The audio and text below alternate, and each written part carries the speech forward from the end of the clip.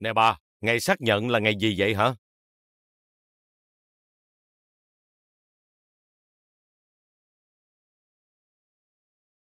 Đó là ngày mà hai người chính thức được thẩm phán của tòa án xác nhận vì cũng có nhiều cặp vợ chồng mặc dù đã có thỏa thuận với nhau, đóng dấu vào đơn ly hôn rồi mà vẫn chưa thừa nhận là mình đã ly hôn, nên mới cần được xác nhận. Ê, tôi có bao giờ nói chưa ly hôn đâu. Tôi là người tự tay đóng dấu vào đơn ly hôn rồi. Vậy thì tại sao ông kia cứ gọi điện cho tôi nói ly hôn chưa có hiệu lực? Tôi đã đóng dấu vào đó rồi. Nhưng tôi vẫn không hiểu tại sao chúng ta cần phải ly hôn như vậy. Chắc là ông không biết thật rồi. Thậm chí nếu như tôi nói cho ông biết, tất cả những chuyện mà ông đã làm đối với tôi trước đây và giải thích ông nghe chuyện ông đã làm tổn thương tôi tới mức nào, nó đã khiến trái tim tôi đau đớn ra sao, thì ông cũng vẫn không hiểu được đâu. Bởi vì ông là một kẻ ích kỷ. Bà, bà nghĩ là tôi là người ích kỷ sao? Hê, bà có thể đi hỏi mọi người xem. Mọi người sẽ nói tôi là người như thế nào, hả? Tôi là người có lòng nhân ái và chu đáo nhất đó. Tôi biết là tôi là người không kiếm được nhiều tiền. Nhưng mà gia đình chúng ta vẫn sống tốt mà. Tôi đã làm gì sai đâu chứ. Ông làm gì cũng sai. Ông hỏi gì thực sự không biết sao? Hả? Gì? Cái gì? Ông là ai mà để con tôi đi như vậy? Ờ. Mình à? Đó, đó là... Tôi sẽ không nói đến chuyện tại sao. Tại sao nó lại gặp tai nạn đó? Nhưng mà, tại sao? Tại sao? Tại sao ông lại để nó đi mà không cố gắng hơn? Là gì? Đó là lựa chọn tốt nhất cho Minh Sơn của chúng ta mà. Đúng rồi. Sự lựa chọn thiên liêng của nhà thơ Ma Chân Ki, một người có trái tim nhân ái. Chuyện đó còn lên báo nữa phải không? Ông đã được viết tên lên báo không phải nhờ thơ mà nhờ đứa con trai đã chết. À, trời ơi, bà này. Sao bà lại có thể nói như vậy được chứ? Ông thấy sốc khi nghe những lời tôi nói sao? Tôi còn có thể nói hơn nữa kìa. Ông nên cảm thấy biết ơn vì tôi đã đưa đơn ly hôn vào ngày mừng thọ 60 tuổi mà không phải làm cho mọi chuyện ầm ĩ hơn.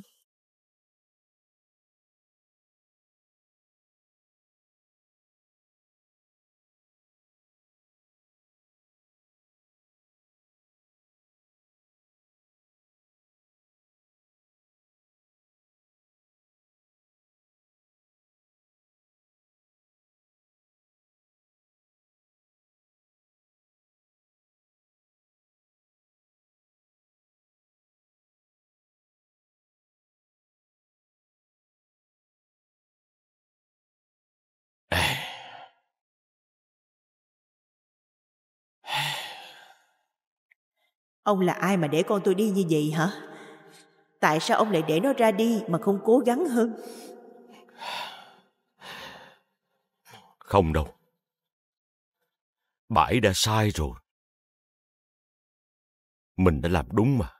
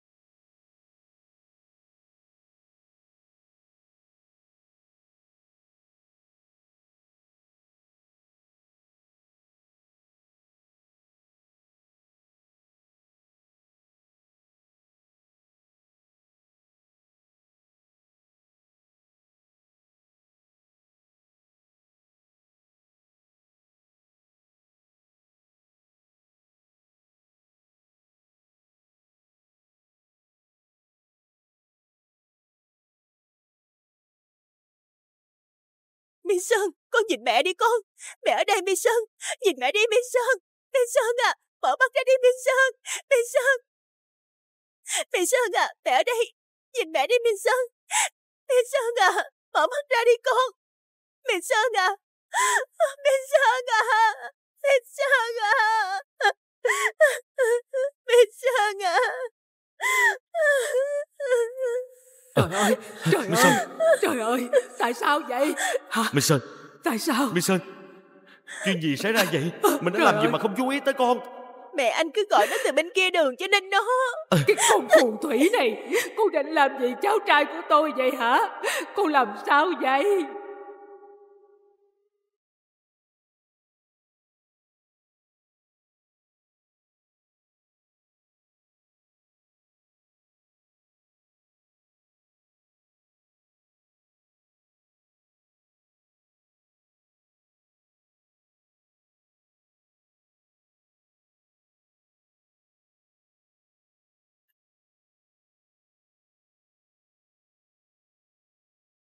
Bác sĩ Thế nào Cháu rồi của tôi sao rồi hả Bác sĩ Hãy cứu Minh Sơn của chúng tôi đi Chúng tôi rất xin lỗi. Hãy cứu nó đi Xin Nó là con trai của tôi tôi. Bác sĩ? Hãy cứu con Xin của tôi Bác sĩ à à, bác sĩ. Bác sĩ làm gì đó đi. Bác sĩ à.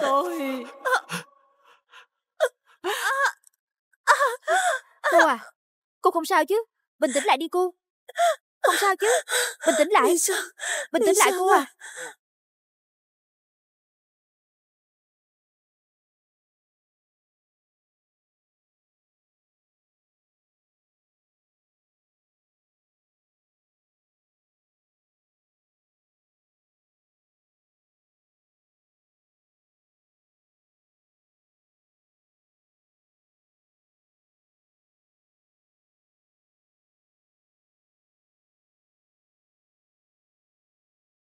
Xin lỗi.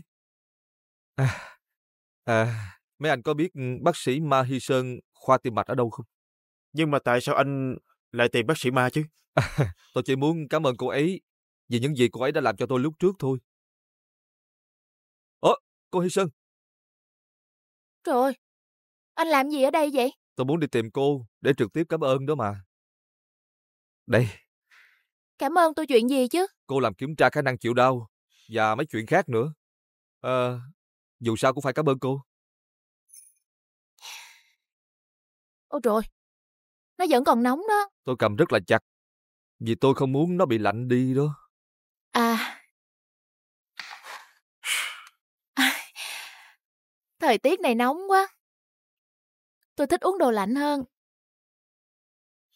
Cô Hy Sơn nè. Cô được nghỉ ngày nào vậy? Bác sĩ nội trú năm nhất không có ngày nghỉ. Thì cô cũng phải ăn, phải ngủ nghỉ chứ đúng không? Tất nhiên là vậy rồi. Tôi muốn được mời cô đi ăn. Có thể cho tôi xin số điện thoại của cô không?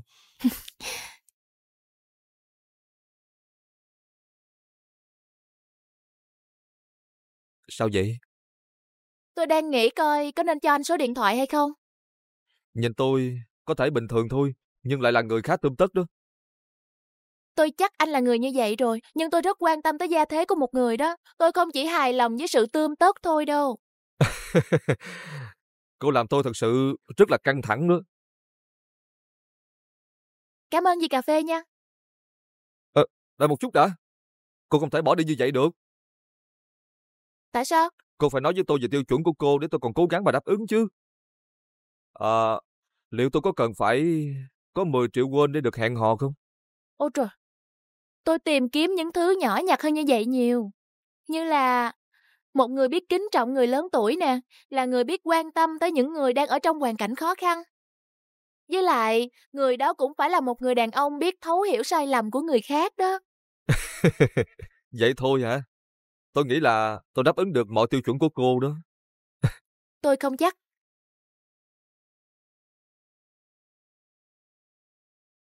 À mà nè, cô có nghe chuyện giám đốc Kim chưa? Không chỉ đơn thuần là sếp của nhóm trưởng ma đâu đó. Ừ, có, tôi có nghe nói. Hai người không chỉ là thầy trò thôi đâu. Tôi biết ừ, cũng có một thời gian rồi. Có vẻ như nhóm trưởng mà có tình cảm với giám đốc Kim đó. À, Cô nghĩ là có chuyện đó sao? Cô biết giám đốc Kim bao nhiêu tuổi chưa? Mà hơn nữa, anh ta đã kết hôn rồi. Ủm, tôi nghe nói là đã ly hôn rồi mà. Coi như độc thân Cho đi. dù đã ly hôn thì cũng không thể ghép một người chưa chồng với người ly hôn được chứ. Ê, cho dù đã ly hôn rồi, thì nhìn giám đốc Kim cũng quá được đi chứ. Anh ấy đẹp trai nè, tính cách cũng rất tốt, còn thông minh nữa. Anh ấy là người đàn ông hoàn hảo đối với mọi cô gái đó. À, tôi hy vọng là họ sẽ đến với nhau. Đúng đó, tôi nghĩ giám đốc Kim lại còn là người lãng mạn nữa. Nhìn họ rất là đẹp đôi, có đúng vậy Ừ. không? Ôi thiệt là, nói vậy mà nghe được hả? Thiếu gì đàn ông hoàn hảo chứ. Bực bội.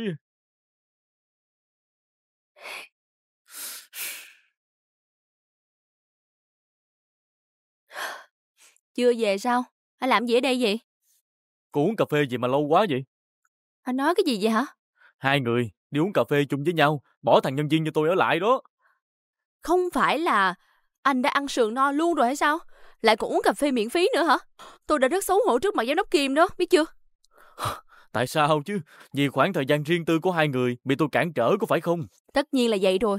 Chúng tôi có rất nhiều chuyện cần nói mà. Chà, cô cởi mở vấn đề thiệt đó. Nè nhưng mà không phải tuổi tác giữa hai người quá khác biệt hay sao?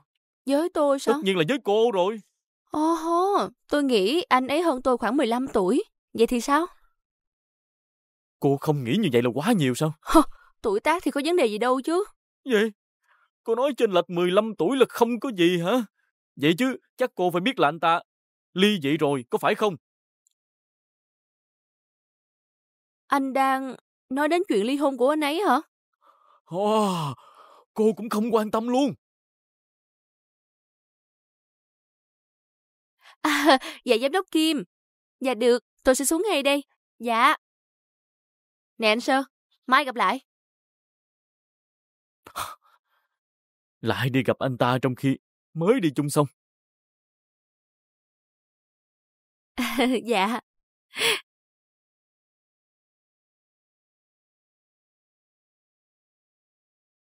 Chà, nhóm trưởng ma cũng ghê thiệt. Mình có nên ngăn cô ấy lại hay không đây?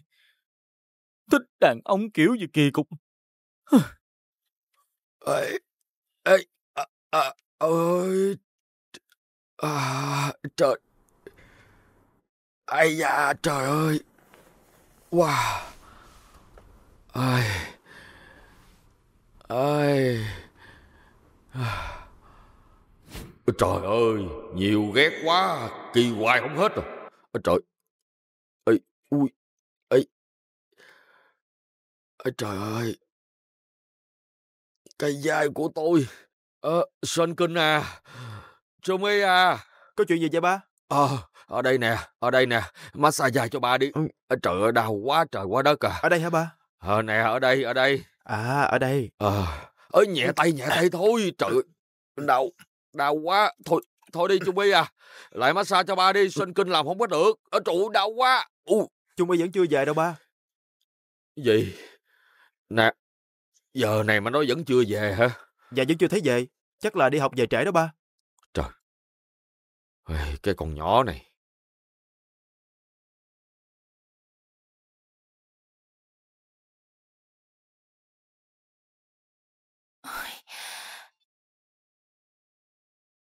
Bà chủ ơi, hôm nay tôi có thể xin về sớm một chút không? Ờ, vậy à, được mà. Ngày, ngày mai à, cô sẽ đến làm ca tối đúng không? Thật ra thì tôi cũng rất muốn làm việc ca tối ở đây lắm. Nhưng tôi nghĩ là chắc phải đổi ca sớm hơn rồi. Ôi, tôi muốn cô đến làm ca tối á, là vì cô làm việc rất là tốt. Về nhà nói chuyện với ba của cô đi, rồi đến đây làm ca tối luôn nha. Gọi hiện không liên lạc được. Cái con nhỏ này thiệt tình. Chắc có chuyện gì rồi. Sơn Kinh, con có biết chuyện gì không? Con không biết gì hết đó ba ơi. Nhưng mà con nghĩ là nó hay đến cửa hàng gà rán đó. Mỗi lần nó về nhà á, thì trên người nó toàn mùi gà rán thôi. Chắc nó đi một mình đến đó đó. Bà cũng nên nói chuyện với nó đi ba. Chắc nó không có uống gì đâu chứ. Cái này thì con không chắc lắm nha. Khi nào mà nó về tới nhà á, con sẽ ngửi thử coi có mùi rượu không. Ờ. Ờ.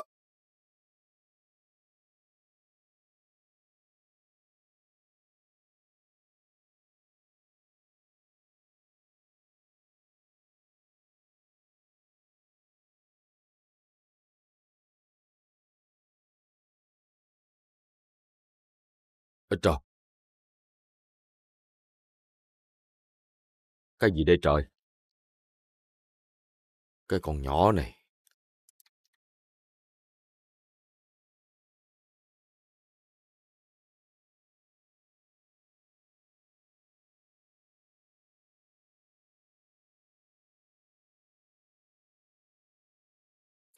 Tại sao cô ta lại không biết?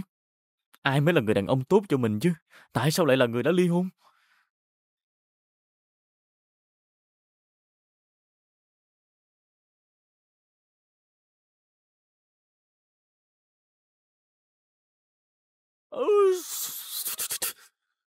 Sao tự nhiên mình quan tâm chuyện này làm gì chứ?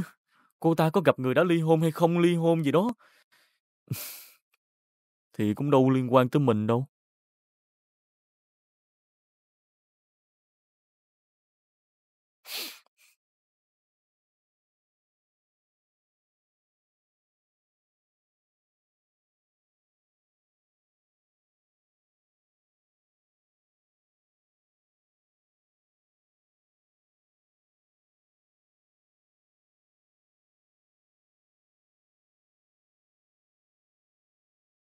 Trên kinh nè, trên kinh nè. Lại coi cái này đi, ha, trên kinh. Nè trên kinh nè, giờ này con đi đâu nữa trên À, kinh? Có chuyện gì vậy ba? Ờ, Ừ. ờ, Sơn Kinh nè. Con, con nhìn cái này nè ha, lần trước, không phải con nhỏ đó mua bộ này bởi vì nó cần để học nghề hay sao? Vậy tại sao nó lại ở nhà? Ừ, lạ thiệt đó, nó cần cái này để học mà.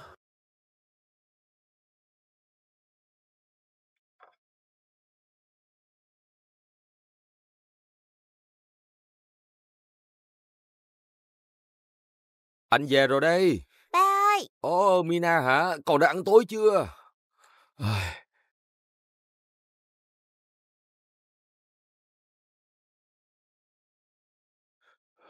Chúng ta có gì để ăn không vậy em?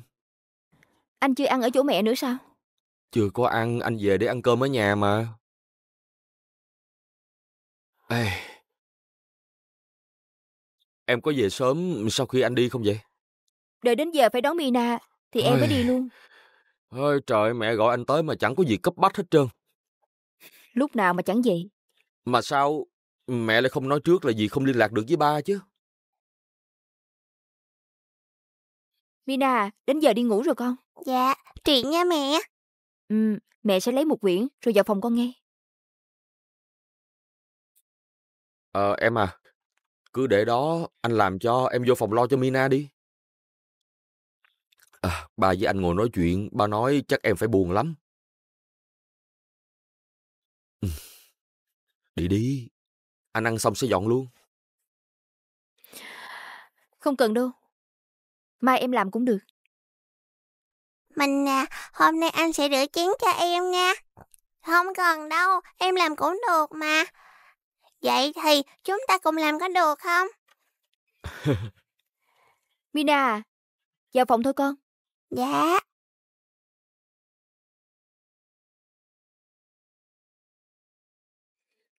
Già rồi đứa bé.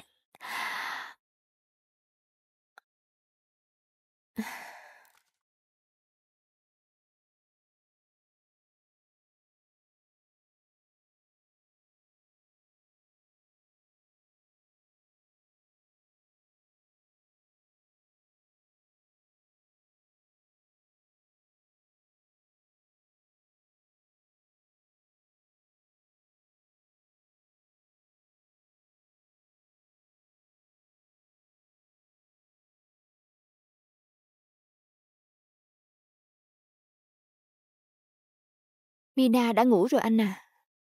Vậy sao? Ờ, vậy thì à, bây giờ em vô phòng làm việc của em đi. Anh sẽ gọi em sau khi dọn dẹp xong mọi thứ ha. Em biết rồi.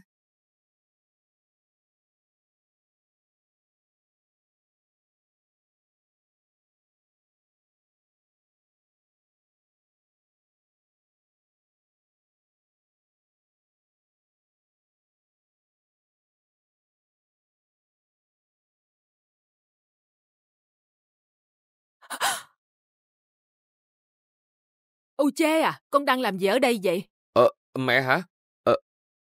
Vợ của con đâu rồi?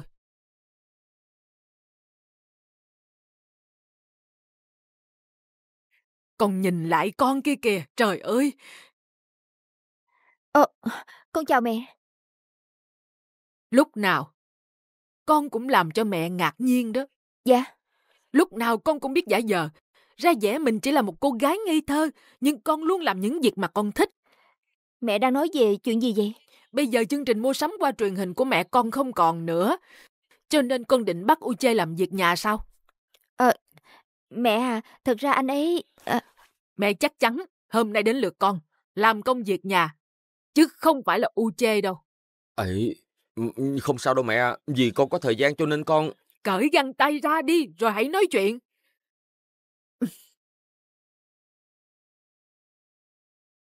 Mẹ đã rất ngạc nhiên khi mẹ con đưa ra bản hợp đồng mới. Vậy mà con còn không làm theo bản hợp đồng. Con trai của mẹ làm thêm sao? Nó là người ở của con hay sao vậy hả? Mẹ à, con làm việc này vì con cảm thấy có lỗi với vợ con mà. Tại sao con lại cảm thấy có lỗi? Là bởi vì... ờ, Cuối cùng mẹ con đã phải nghỉ việc ở kênh truyền hình mua sắm. Ờ, trời trời ơi trời, còn, có chuyện đó nữa sao? Ờ, mẹ nghĩ là chương trình của mẹ con chỉ bị đình chỉ trong vài tháng thôi. Mẹ con bị nghỉ việc luôn sao? Thì tất cả cũng tại mẹ, mẹ đã hủy chương trình vào ngay phút cuối cùng, nên mới vậy đó. Cái gì vậy? Là lỗi của mẹ sao? Ờ, mẹ nghĩ là con với ba của con đã hiểu sai điều đó rồi. Con có biết chuyện gì xảy ra ngay trước khi chương trình chuẩn bị phát sóng hay không? Con chắc là không biết có đúng không?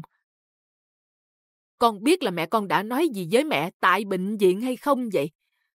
Ai, mẹ không thể nào tin được chuyện này. Mẹ chắc chắn một điều là đến thiên thần cũng phải từ bỏ công việc của mình sau khi nghe được những lời nói xúc phạm của mẹ con như vậy. Ủa, mẹ đang nói gì vậy? Mẹ cũng biết là lúc đó mẹ con không còn sự lựa chọn nào khác còn gì. Ôi, trời ơi, trời ơi, nếu như nếu như con muốn nói như vậy thì chúng ta nên bắt đầu từ lúc con gặp Uche và nói đến chuyện kết hôn. Có cần nhắc chuyện lần đầu tiên mẹ gặp ba mẹ con không? Là bởi vì mẹ cứ nhắc đi nhắc lại chuyện gia đình con quá nghèo. Thì gia đình con nghèo mẹ nói đúng như vậy, chứ đâu có vấn đề gì đâu. Quên chuyện đó đi.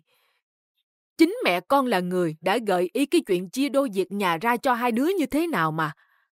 Ờ, mẹ không thể ngồi yên và nhìn con để cho con trai của mẹ làm tất cả việc nhà mà không tuân theo quy định được. Mẹ sẽ suy nghĩ thật kỹ lại chuyện này.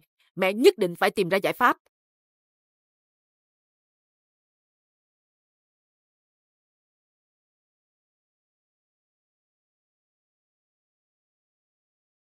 Còn đứng lại đó.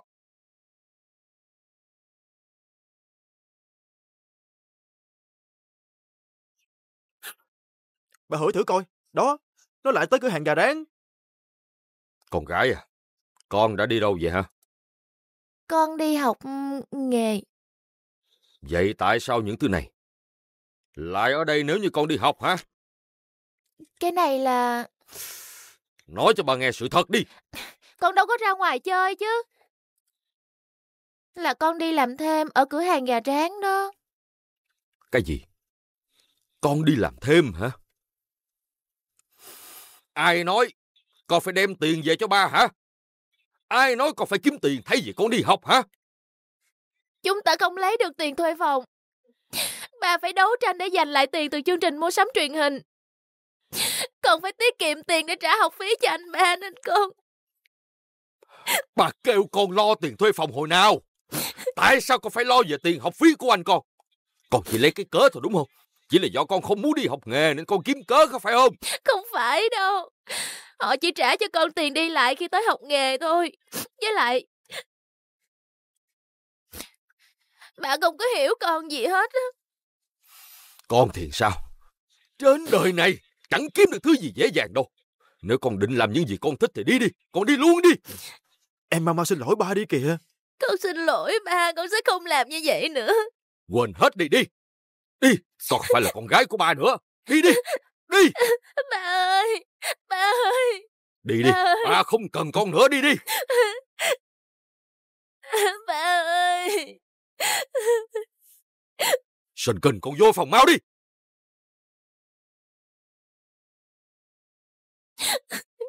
Ba ơi, mở cửa cho con đi. Lần sau con không như vậy nữa đâu ba. Ba ơi.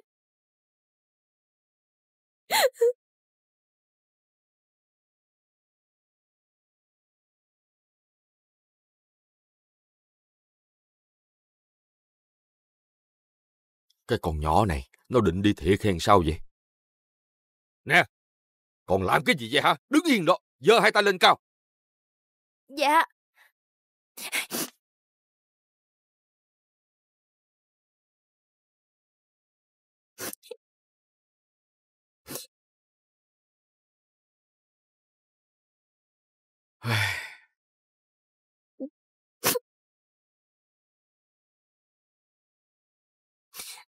Cái con ngốc này sao phải giơ tay cao vậy chứ?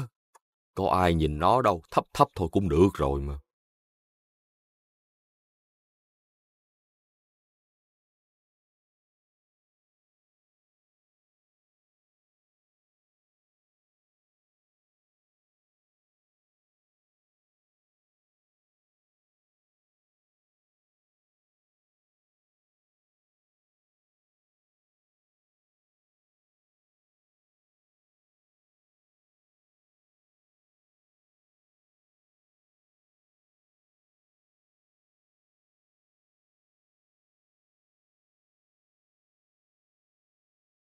Alo? Alo? Alo. Nhóm trưởng ma. Sao? Nhóm trưởng ma. Chuyện gì? Nhóm trưởng à, thật ra tôi... Nói đi chứ. Nhóm trưởng à, thật ra tôi... Tôi có chuyện muốn nói với cô đó. Nè anh Tôi- Sơ, tôi- anh làm gì ở đây vậy? Nhóm trưởng, cô mới về hả? Tại sao anh lại ở đây giờ này mà còn gọi điện thoại đùa giỡn với tôi nữa chứ?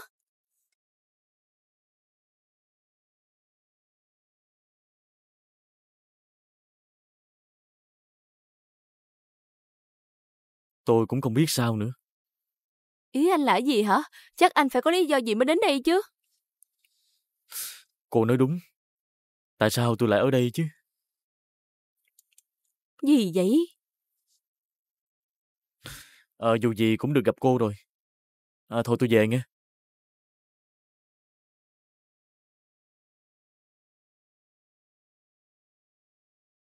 Gì vậy? Sao mà anh ta lại hành động ngu ngốc như vậy chứ? Nhóm trưởng ma, Chuyện gì nữa? Có chuyện này thắc mắc muốn hỏi cô. Chuyện gì?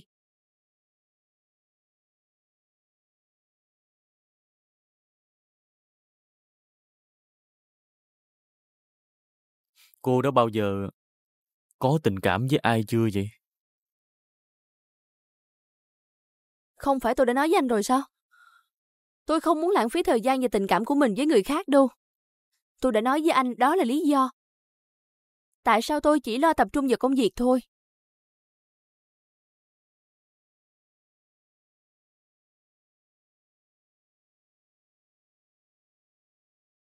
Được rồi.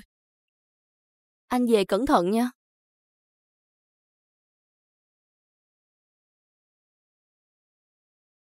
오늘도 내 앞에